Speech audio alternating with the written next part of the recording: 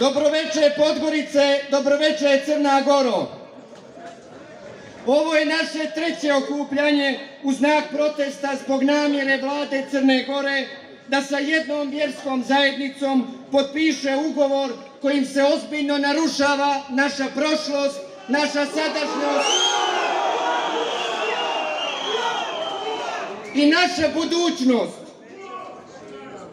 Na skupu će govoriti intelektualci, univerzitetski profesori, politički i građanski aktivisti. Govorit će osobe različitih političkih uvjerenja, različitih vjeroispovijesti i različitog nacionalnog opredjeljenja. Naša poruka je jasna.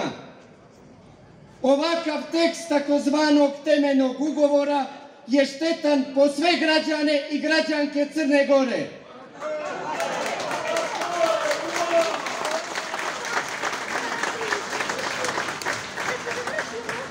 Iz Podgorice večera šaljemo svim građanima i građankama Crne Gore poruku ljubavi i poštovanja bez obzira na naše različitosti.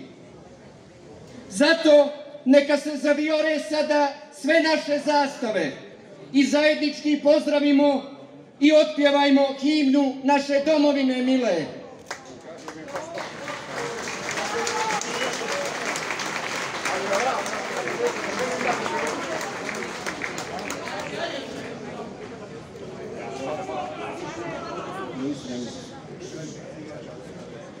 Gerçekten.